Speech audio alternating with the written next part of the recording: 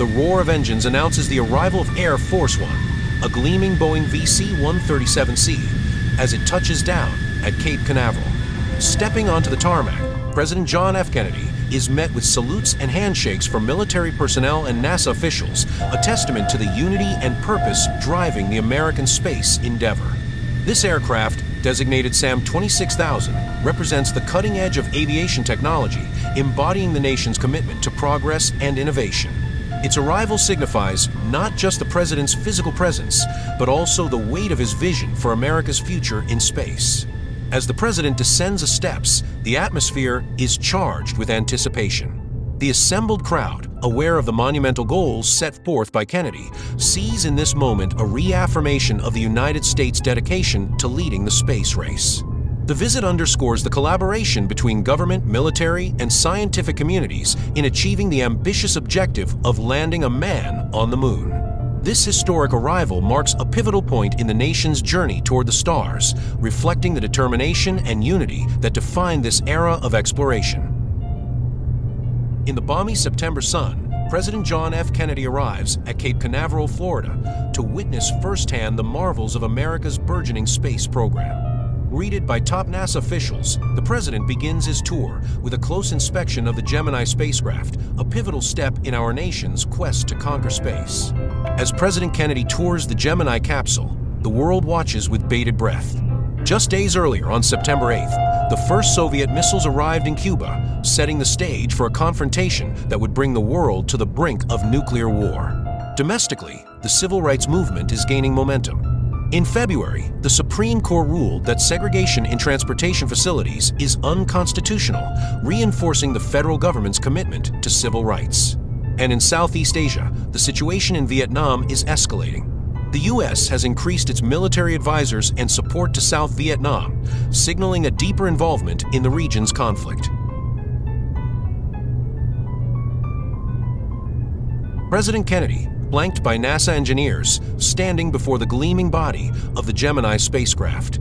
From where I stand on the far side of the cordon line, the capsule appears both compact and commanding, about 19 feet long and 10 feet across, painted a hopeful white, its small forward windows reflecting the Florida sunshine. Technicians gesture sharp and assured, point toward key sections, the reentry module at the front, domed and heat shielded, built for withstanding searing returns through the atmosphere, and the adapter segment aft, which secures to the Titan II booster beneath. I note the level of precision. Astronauts will live inside this small cone for up to 14 days, a giant leap forward from Mercury's brief solo flights.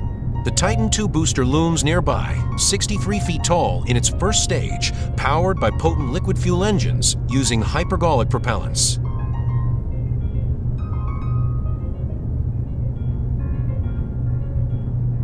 At Cape Canaveral, President Kennedy converses with astronaut Virgil Gus Grissom, a key figure in America's space endeavors. Born in Mitchell, Indiana, Grissom's journey from a small-town boy to a national hero is a testament to American determination. A decorated Korean War veteran, he flew 100 combat missions, earning the Distinguished Flying Cross. In 1959, he was selected as one of NASA's original Mercury 7 astronauts.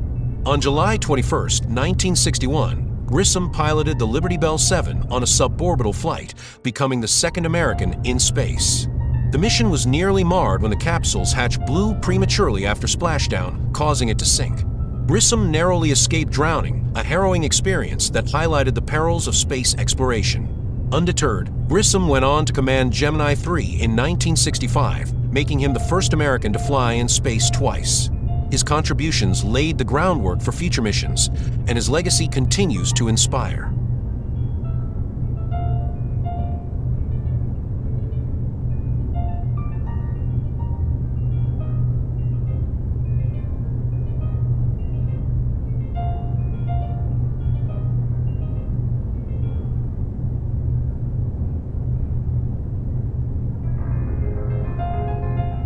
At Cape Canaveral, President Kennedy engages in a moment of camaraderie with astronauts Gus Grissom and Deke Slayton, two of the original Mercury 7. Their meeting symbolizes the collaboration between national leadership and the pioneering individuals daring to venture into the unknown. Grissom, a decorated Korean War veteran and accomplished test pilot, became the second American in space during the Mercury Redstone 4 mission. His expertise and dedication have been instrumental in advancing the nation's space endeavors. Slayton, also a seasoned test pilot, was initially slated to pilot the Mercury Atlas 7 mission. Although a medical condition postponed his flight, he has continued to play a vital role in astronaut selection and mission planning, demonstrating an unwavering commitment to the space program. This encounter underscores the unity of purpose driving America's quest to explore the final frontier, reflecting the shared vision of leaders and astronauts alike.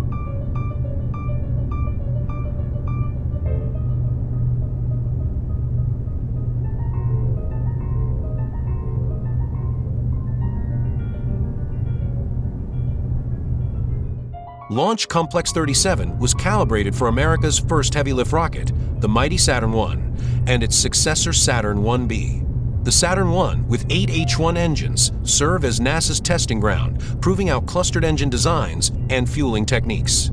The more powerful Saturn 1B, with its new S-4B upper stage, would follow, practicing crewed launches and lunar module tests from 37B.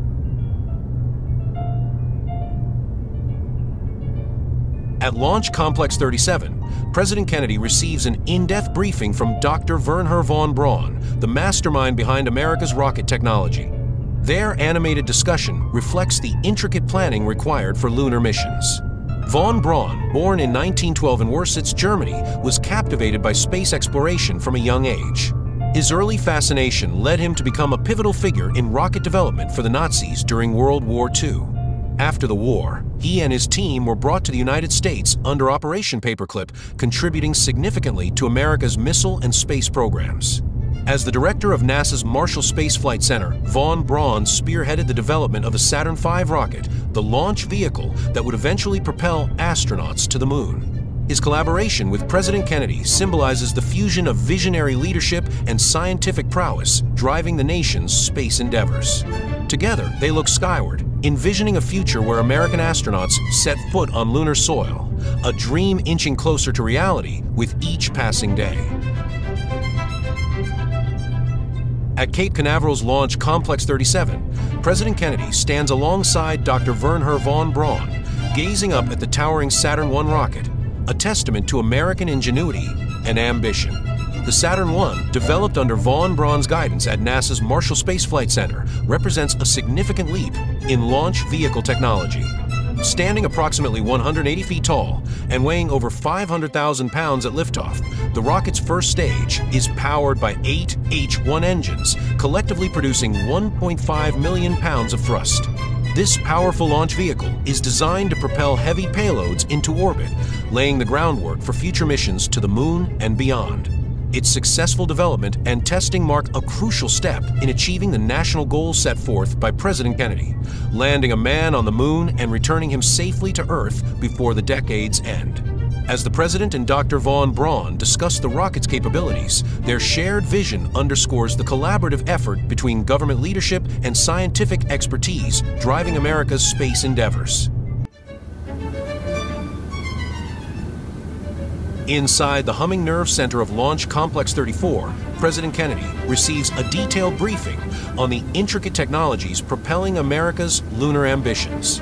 Surrounded by a sea of consoles, blinking indicators, and the steady voices of engineers, the President delves into the complexities of the Apollo program. Foremost among the topics is the Saturn V rocket, a marvel of engineering designed to propel astronauts beyond Earth's grasp. Standing at 363 feet, this behemoth is powered by a trio of stages, each meticulously crafted to perform a specific function in the journey to the moon. The first stage, equipped with five F-1 engines, generates a staggering 7.5 million pounds of thrust, lifting the rocket skyward. The subsequent stages continue the ascent, culminating in the spacecraft's insertion into lunar trajectory. Equally critical is the Apollo spacecraft itself, comprising the command module, service module, and lunar module. The CM serves as the crew's quarters and re-entry vehicle, while the SM houses propulsion and support systems. The LM, a two-stage lander, is designed to ferry astronauts to the lunar surface and back to orbit. This modular approach, known as Lunar Orbit Rendezvous, was selected for its efficiency and feasibility within the decade's timeframe. The briefing also highlights the Apollo Guidance Computer, a compact yet powerful device developed by the MIT Instrumentation Laboratory. Utilizing integrated circuits, the AGC manages navigation and control tasks, ensuring precise maneuvers during the mission. Its reliability is paramount, as it must function flawlessly in the unforgiving environment of space. As President Kennedy absorbs these technical details, he is acutely aware of the broader implications. The success of the Apollo program is not merely a scientific endeavor, but a demonstration of American ingenuity and determination. The technologies discussed here will not only carry men to the moon, but also pave the way for future explorations beyond.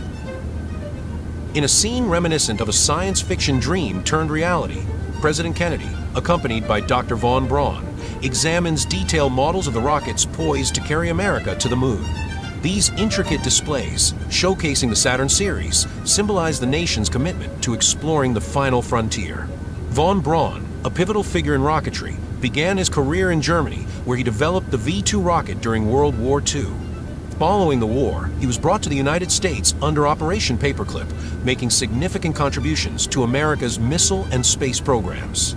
As the director of NASA's Marshall Space Flight Center, Von Braun spearheaded the development of the Saturn V rocket, the launch vehicle that would eventually propel astronauts to the moon. This moment, capturing the collaboration between visionary leadership and scientific prowess, underscores the United States' dedication to space exploration. The detailed models serve not only as engineering blueprints, but also as symbols of a nation's aspiration to reach beyond the stars.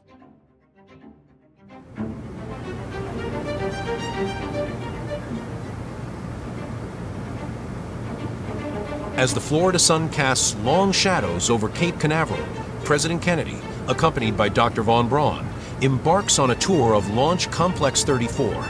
This site, a testament to American ingenuity, houses the towering Saturn I rocket, a marvel poised to propel the nation toward its lunar ambitions. Dr. Von Braun, the visionary behind the Saturn series, elucidates the complexities of the launch vehicle. The Saturn I, standing at 180 feet, is designed to deliver heavy payloads into Earth's orbit, serving as a precursor to the more powerful Saturn V. Its development marks a significant stride in the United States' quest to explore the cosmos. The President's visit to the launch pad underscores the collaborative effort between government leadership and scientific expertise. As they survey the intricate infrastructure, massive gantries, fueling systems, and control mechanisms, Kennedy gains a deeper appreciation for the challenges and triumphs that define the American space program. This moment, capturing the convergence of political will and technological prowess, epitomizes the nation's commitment to exploring the final frontier. The tour of Launch Complex 30 for not only highlights the progress achieved, but also sets the stage for the monumental endeavors that lie ahead. This historic visit comes just one day before President Kennedy's iconic address at Rice University, where he boldly declared, We choose to go to the moon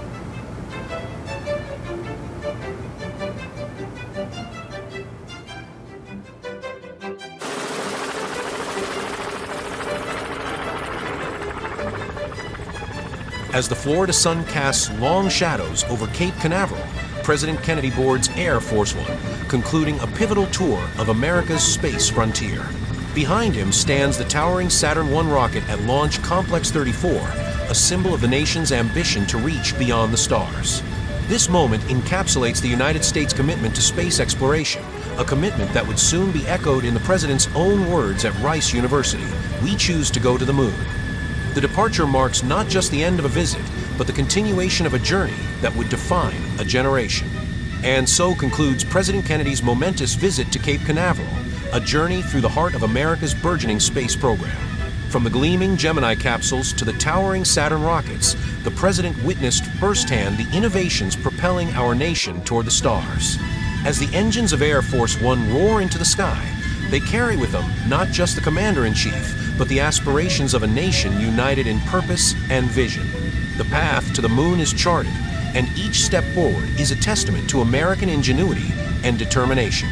This historic visit comes just one day before President Kennedy's iconic address at Rice University, where he boldly declared, We choose to go to the moon.